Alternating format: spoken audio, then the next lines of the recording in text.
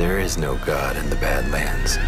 Smoldering, serpentine, and supremely stylized. AMC's Into the Badlands depicts a post apocalyptic feudal society where servitude, codes, betrayal, and death are the only real currency. And I suggest you buy into Badlands, because despite a few missteps here and there, the show is a rich offering. Debuting on November 15th, right after that other End of Civilization as we know it show, The Walking Dead, the six episode, one hour Alfred Gough and Miles Millar created martial arts series, somewhat based on the 16th century Chinese tale Journey to the West, is of course guaranteed by location to come out of the gate with some strong numbers. She's gonna hunt you down. Saddle up.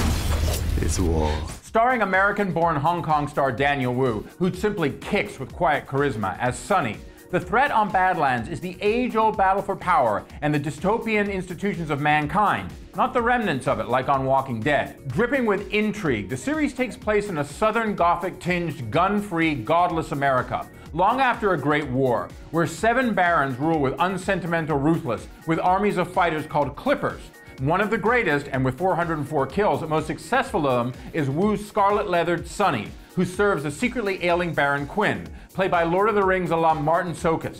As the widow, played in Icy Cool by Emily Beecham, takes over her dead husband's realm and now moves against Quinn and the five other barons, Sonny takes a mysterious and powerful young man named MK, played by Aramis Knight, under his wing as his colt or clipper in training.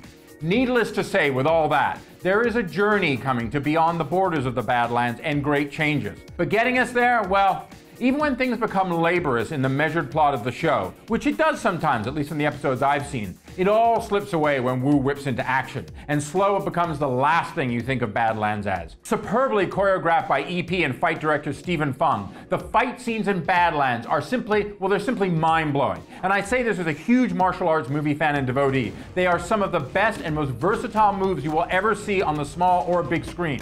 I can only surmise from having seen Into the Badlands that Master Bruce is looking down proud at what his legacy has spawned. And that should have you glued to Into the Badlands. It had me. I'm Dominic Patten for Deadline Hollywood.